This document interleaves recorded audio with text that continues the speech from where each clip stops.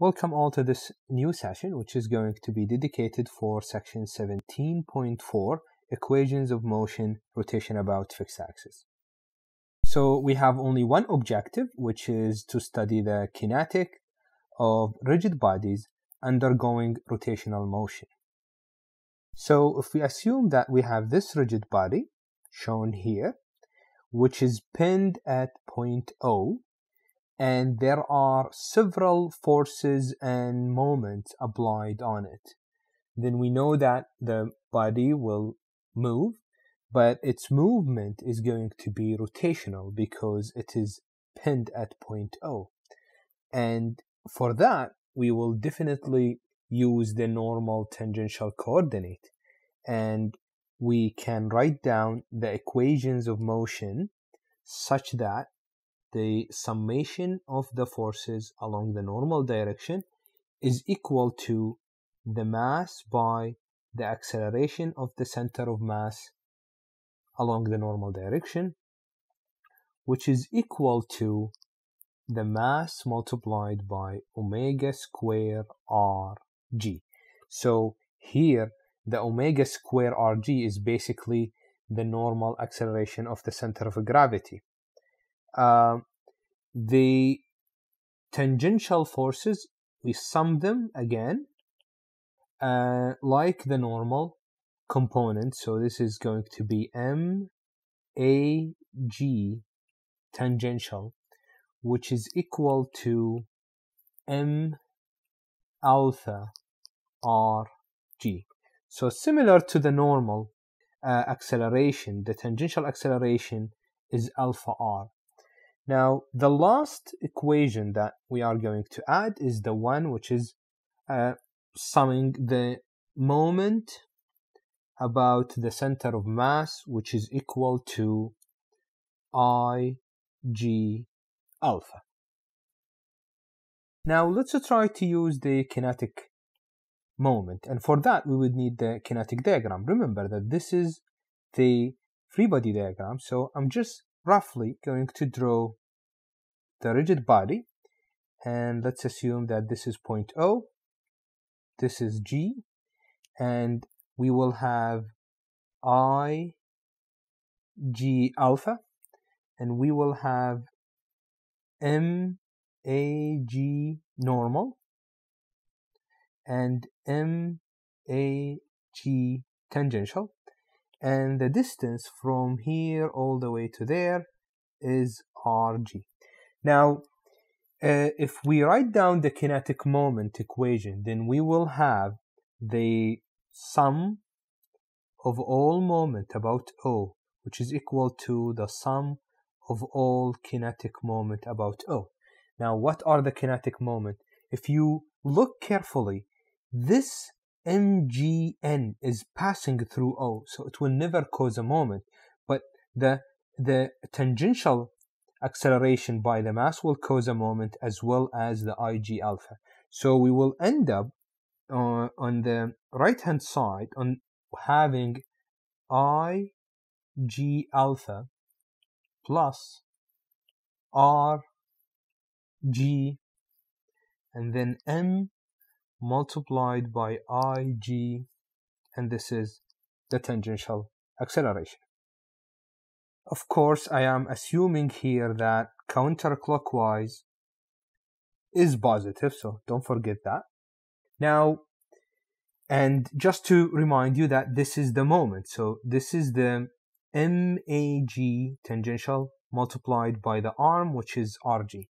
Now, I can do some, some simplification here, so I can have this one as IG alpha plus R G M multiplied by R G alpha.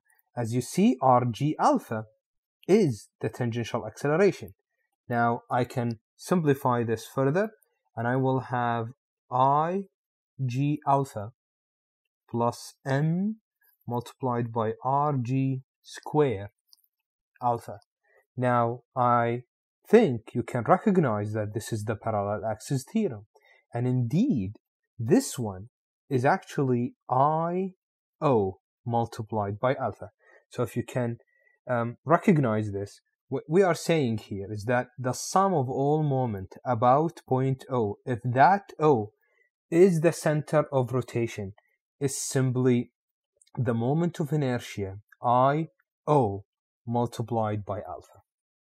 So here, let me quickly summarize what we did.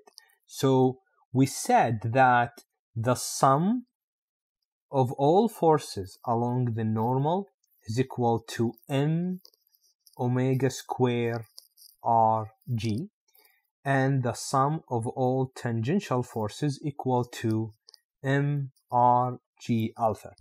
Also, we said that the sum of all moment about the center of rotation O is equal to I g alpha plus r g m a g tangential, which is equal to I o alpha.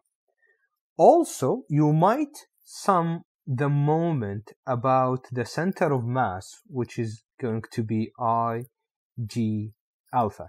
Now, what you should remember here is that the difference here between IO and IG is that if the rigid body has a standard geometry, you can find IG from the table.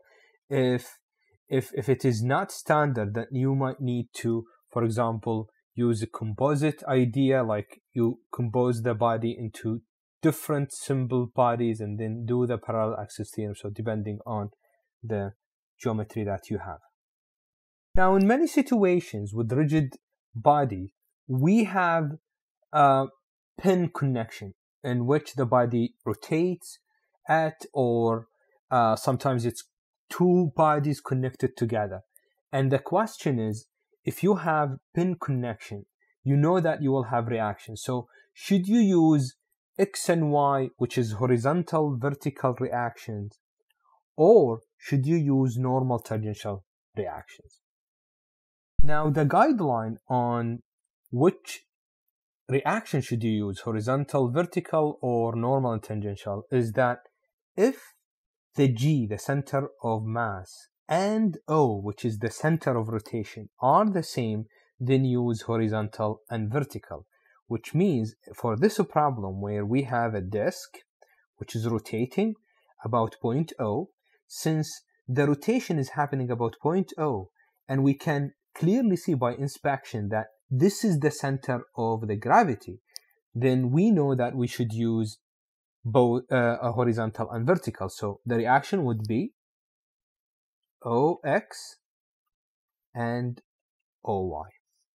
On the other hand, if we have a situation where the center of gravity and the center of rotation are not the same, then the guideline says that you should use normal and tangential uh, reactions. And if you look at this example, the center of rotation is O, but as you see, this rod is pinned at a distance of 0.3 from this edge and a distance of 0.6 from this edge. So the pin is not acting on the middle and we can by inspection anticipate that the center of gravity lying somewhere here. And as the guidelines suggest, we should use normal and tangential. So this is what we are going to have. We will have OT as the tangential and ON as the normal reaction. So let's have the first example here.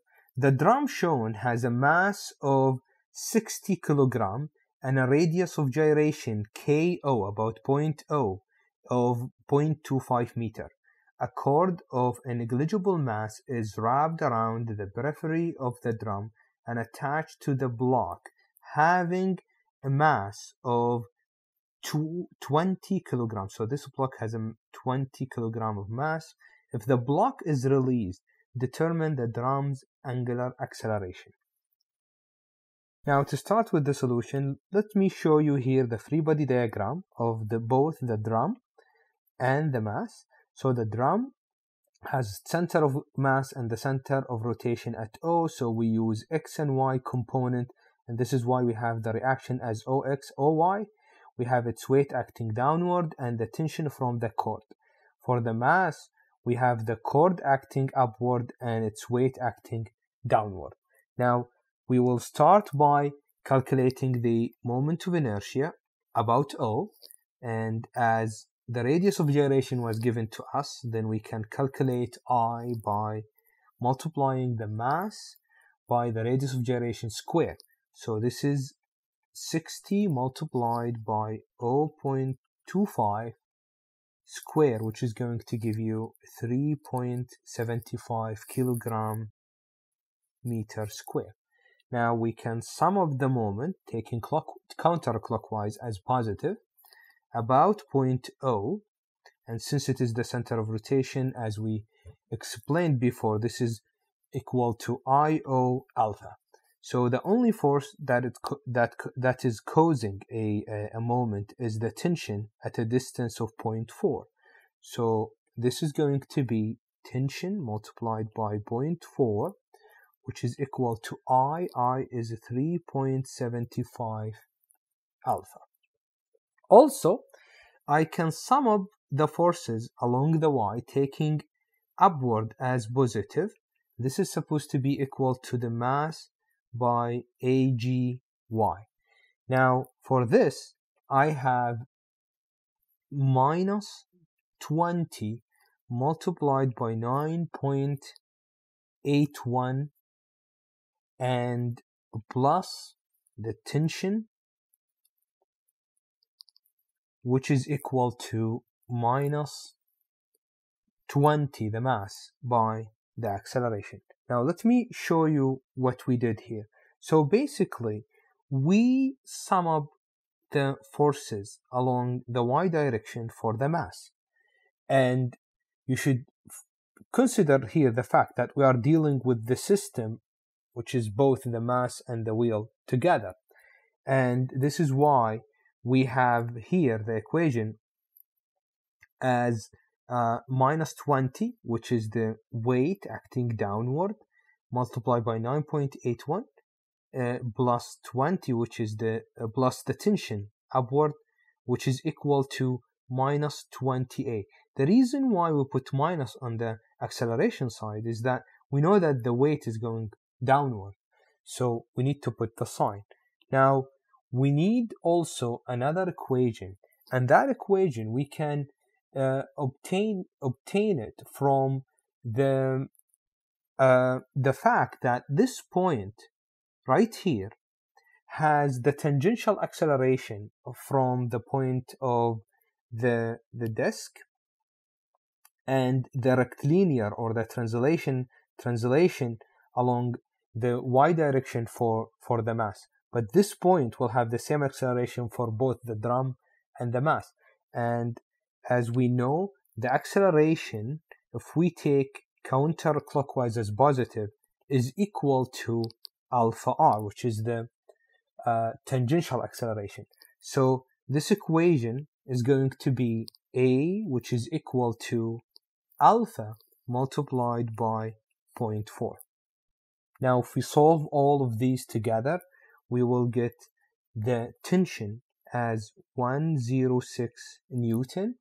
We will get the acceleration as 4.52 meter per second square and we will get alpha as 11.3 radian per second square. There is another solution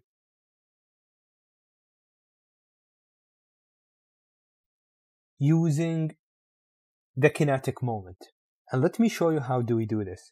Well, as you see, this is the free body diagram and this is the kinetic diagram.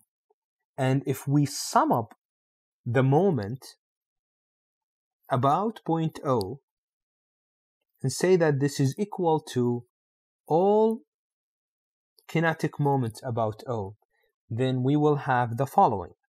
For the moment, the only force right here, this side is obtained from the free body diagram. So clearly, with respect to point O, the only force that causes a a moment is the weight of the of the of the block.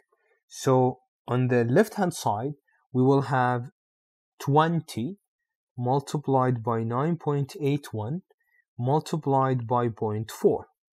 Now, for the right hand side, in the kinetic part, definitely we will have IO alpha causing a moment, and we have the acceleration right here. This one is an acceleration, mass by acceleration is causing a kinetic moment. And I want you to focus on how am I going to write this one because the first term is just I, which is a 3.75 multiplied by alpha. But the other part, let me write it down and slowly. The other part is this. We have 20, which is the mass, multiplied by the acceleration. But we said that this acceleration is, is the same as the acceleration of this point. And this point, with respect to the drum, having an tangential acceleration. So tangential acceleration is alpha r. And for that, you should have alpha and then r, which is 0.4. But remember, all of this is just like MA. You still need to multiply it by the arm of the moment. So you have to multiply again by 0.4, which is the arm. And if you look clearly here, the only unknown is alpha. So solving for alpha will give you 11.3 radian per second square, which is similar to the answer we obtained in the previous slide.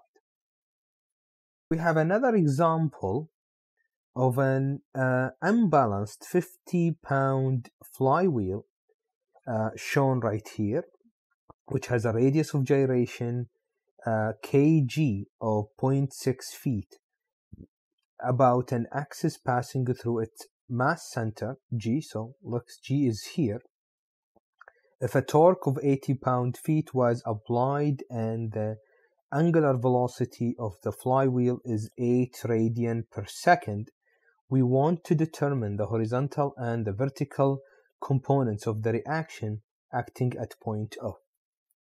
Now let's draw the free body diagram and the kinetic diagram.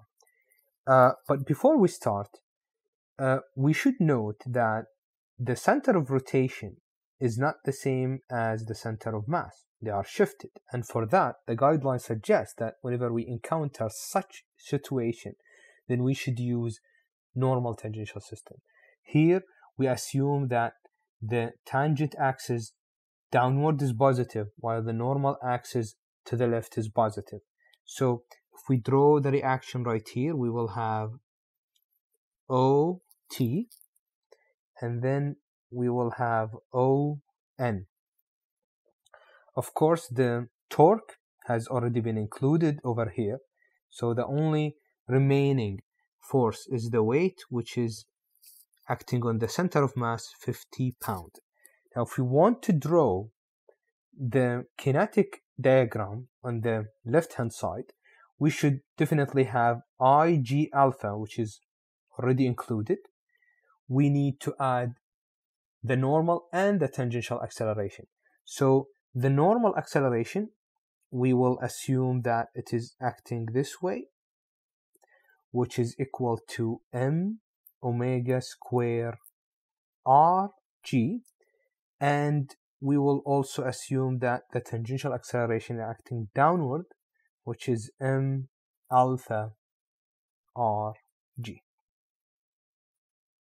Now, since we know the radius of gyration about the center of mass g, we can calculate i g as m k g square, which is equal to 50 pound divided by 32.2 feet per second square, that's the acceleration, uh, to get the mass. And then we multiply this by the radius of gyration 0.6 square.